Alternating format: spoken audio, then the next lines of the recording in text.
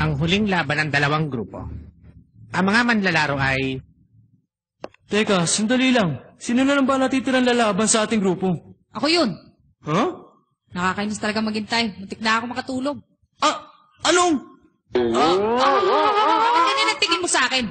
Dapat pala ipinanalo ko na lang yung laro ko kanina. Kapag ginamit na naman nilang isip, eh sigurado talo na tayo. Gon, payagan mo na ako. Isang ano lang. Minahon ka. Yan ang pinakuling salita ko tatanggapin ko mula sa isang talunan. Inaamin ko na pagdating sa kwentuhan, siguradong susuko na ako sa kanila. Huwag kang magalala. Alam kong kahit anong laban ay sigurado mananalo ka. Malaki ang tiwala namin sa'yo. Ah, Gon. Kanina ay alam mong bato ang mauna. Uh, Huwag ka maghahamon ng Jack and Boy! talaga?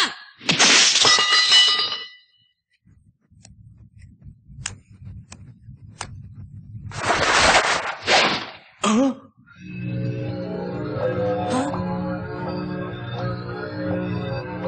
Kiluwa. ang taong yan ay walang iba. Kung hindi si Janice. Si Janice? Kiluha. Huh?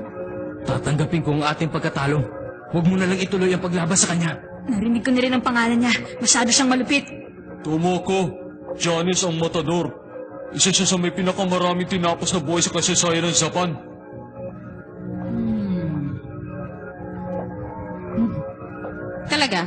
Ilan na ba tinapos niya? Sa sobrang dami, hindi ko na mabilang eh.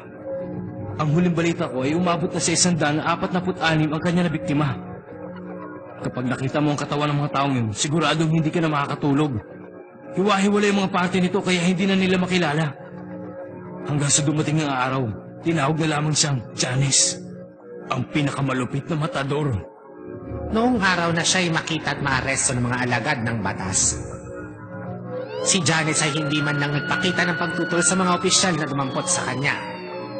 Pero, noong pinandar na noong pulis yung sasakyan para dalhin siya sa bilangguan, ay bigla na lamang... Masyado siyang mabilis kumilos. Kaya kanyang tapusin sa isang iglap na hindi mo namamalayan. Walang sino man na makakapantay sa pambihirang kakayahan ng kanyang mga daliri. Si Janice ang pinakamagandang koleksyon na nahuli ko mula nung ako'y maging isang blacklist hunter. Huh? Ibang klase. Nadurog niya yung simento. Pambihira ang kakayahan ng kanyang kamay. Ngayon, nakita mo na. Kaya hindi mo na kailangan makipaglaban sa isang baliw na katulad niya. Marami pang pagkakataon para maging hunter. Sana ay maintindihan niyo ako sa pakiusap ko. Kailangan na talaga natin sumuko ngayon. Meron ba tumututol? K- Kiluwa! Sandali! Kiluwa! Huwag! Huwag niyo ako pigilan. Ngayon pa lang nagsisimula ang kasiyahan sa larong to. Papakita ko kung paano ako makipaglaro. Uh, kiluwa! Ano makikipaglaro? Nasisira! Gon, Wala kang dapat ipag-alala. Magtiwala ka kay Kiluwa. Para kay Kiluwa, isa lang itong laro. Sinabi na nga kung anong kakayahan ni Janice, hindi pa rin sila nakinig. Bahala na kayo.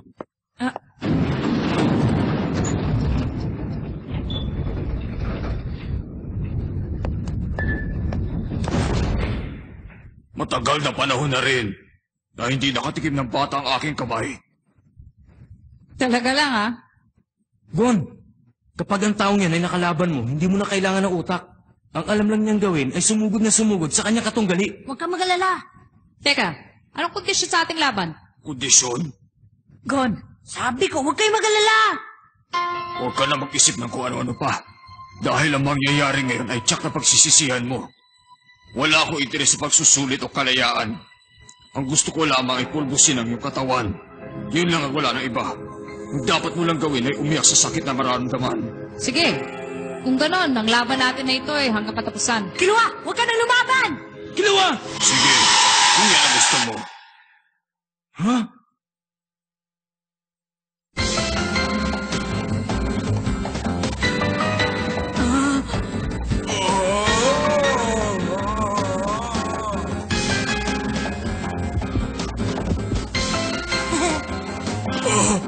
Balik mo yan.